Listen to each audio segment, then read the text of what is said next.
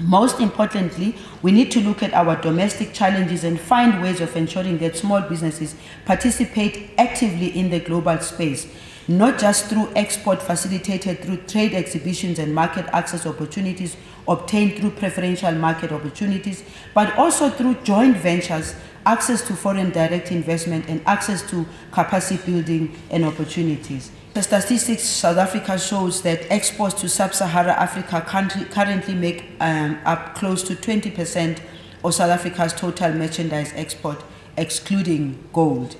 These exports made up a very high share of total imports within many of Southern African countries. 50% of, Zim of, of, Zimbabwe imports, 41% of Mozambique imports, and between 30, 20 and 30 of total imports, Zambia, Malawi, and the Democratic Republic of the Congo.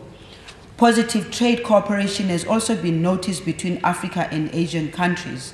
For example, exports from Asia to Africa grew at 20% uh, per year from 2000 to 2005. South Africa has relations with the rest of Africa, therefore provided with an opportunity to benefit from the strong economic growth in the Asian economies.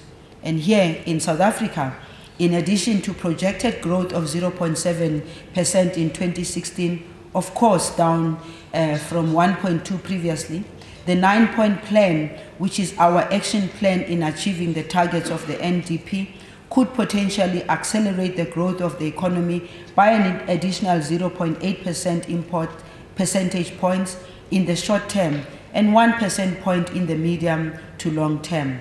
Key exports is the revitalization of agriculture and agro-processing value chains and the launch of the eighth iteration of the Industrial Action Plan, IPAP.